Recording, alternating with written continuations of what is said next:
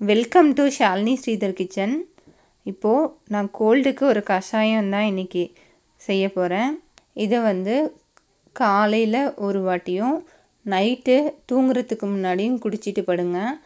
கண்டிப்பாக இதே மாதிரி ரெண்டு நாள் நீங்கள் தொடர்ந்து எடுத்துக்கும் போது நம்ம உடம்புல இருக்கிற சளி வந்து கண்டிப்பாக குறைஞ்சிடும். அதுக்கு நான் கால் ஸ்பூன் சீரகம் எடுத்திருக்கேன். ஒரு பத்து மிளகு கொஞ்சமாக சுக்கு ரெண்டு ஏலக்காய் கால் ஸ்பூன் தனியாக எடுத்திருக்கேன். இதை வந்து மிக்சியில் போட்டு குறை குறைப்பாக இந்த மாதிரி பவுடர் பண்ணிக்கோங்க. அப்படி இல்லாட்டி இடி இடிக்கல் இருந்தால் அதை வச்சு இடிச்சுக்கோங்க.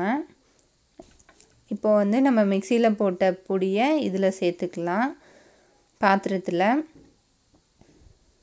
சேர்த்துட்டு இதில் ஒரு கப் தண்ணி வச்சுக்கலாம். நான் இது வந்து ஒருத்தருக்குங்கிறதுனால ஒரு கப் அளவுக்கு தான் நான் வந்து எல்லா மெஷர்மெண்ட்டும் சொல்லியிருக்கேன். இப்போ இந்த தண்ணியில் போட்டிருக்கிறது எல்லாமே நல்லா பாயில் ஆகட்டும். பாயில் ஆயிடுச்சு. இப்போது இதில் வந்து கொஞ்சமாக மஞ்சப்பொடி சேர்த்துக்கோங்க.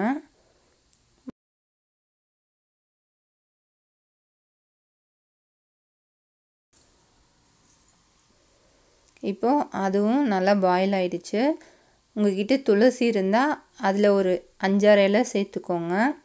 கூடவே இதில் வந்து ஒரு ஓமவல்லி இலையை சேர்த்துக்கிறேன். நான் குழந்தைக்குங்கிறதுனால இது காரம் அப்படிங்கிறதுனால நான் ஒரே ஒரு இலையை மட்டும் பிச்சு போட்டு சேர்த்துக்கிறேன்.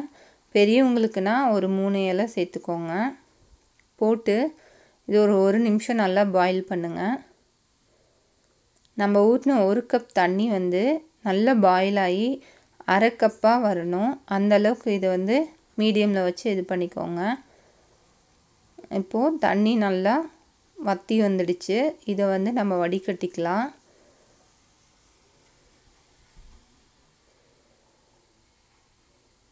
இதை வடிகட்டிட்டோம். இப்போது இதில் வந்து பெரியவங்கன்னா அப்படியே குடிக்குவாங்க. குழந்தைங்களுக்குன்னும் போது இதில் வந்து நாட்டு சக்கரை அப்படி இல்லாட்டி பனங்கற்கண்டு பனை வெல்லம் இந்த மாதிரி சேர்த்து கொடுங்க. சேர்த்து இதை மிக்ஸ் பண்ணியாச்சு.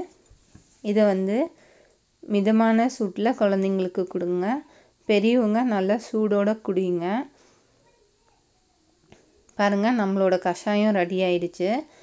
நம்ம சேர்த்துருக்கிறது எல்லாமே சூடானது. கண்டிப்பாக உடம்புல இருக்க சளியை இதை எடுத்துடும்.